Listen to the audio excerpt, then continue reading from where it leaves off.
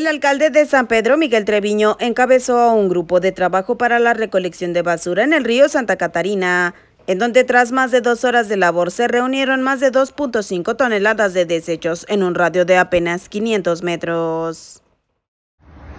Mira lo que me encontré aquí, en medio del río Santa Catarina, las flores, la naturaleza, tratando de darnos belleza a la ciudad, pero luego uno se mete acá y pues lo que hay es